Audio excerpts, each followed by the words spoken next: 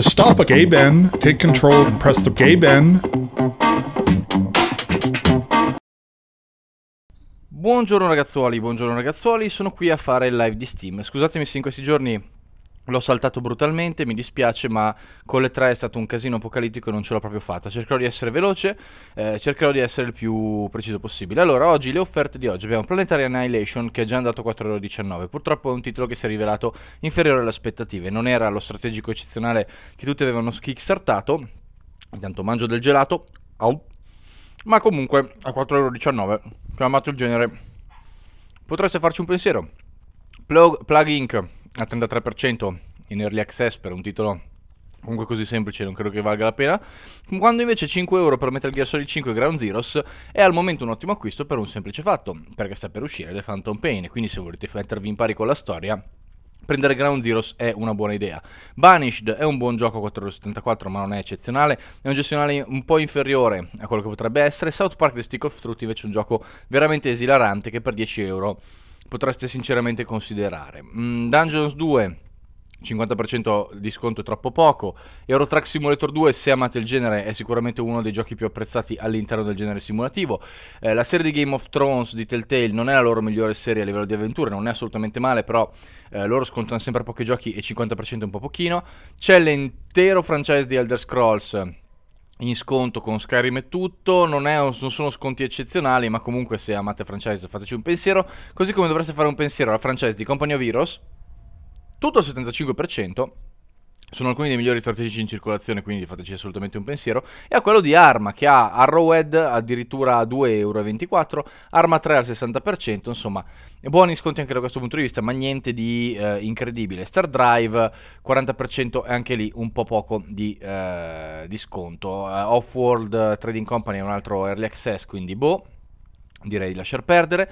E poi nelle offerte lampo abbiamo Never Alone, molto bellino a livello artistico ma inferiore alle aspettative a livello di gioco, 60% di sconto. Torchlight 2 è sempre un, un ottimo acquisto, The Sims 3 40% è troppo poco. The Secret World è un MMO, Bastion a 2,74€, uh, eh, Lichdom Battle Mage non l'ho personalmente provato, ho sentito delle buone robe ma anche dei pareri negativi in generale comunque oggi vedo che non ci sono delle grandissime offerte. Ah ecco, questa, questa è bella invece. Eh, allora, tra le offerte lampo, sinceramente al di fuori di Torchlight e Bastion eh, non vedo niente di incredibile.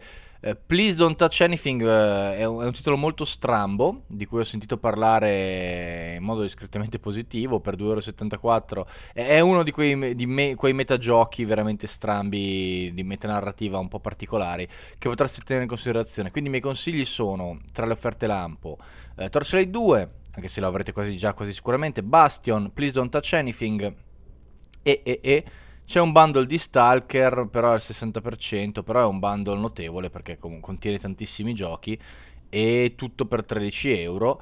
Quindi queste le mie off le offerte veloci del giorno. Speedrunners è molto bello ma in early access e Planet Explorer uguale. Eh, quindi quelle sono le mie offerte lampo preferite. Le offerte principali Metal Gear Solid Ground Zeroes per il fattore che ho detto prima.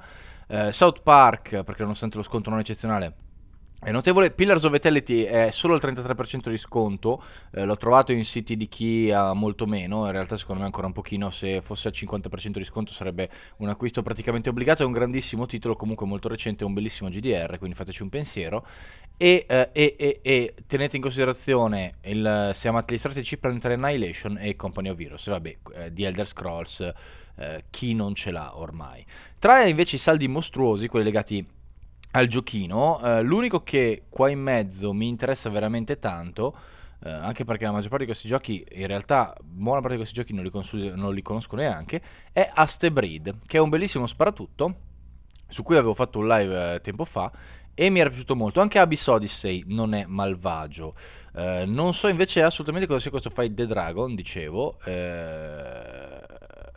non credo sia niente di particolarmente eccezionale. Uh, però è per 2 euro, potreste farci un pensiero. Quindi questi sono i miei, i miei consigli qua. E niente, basta, oggi sarò veloce e ci fermiamo qui. Ci vediamo alla prossima, ciao!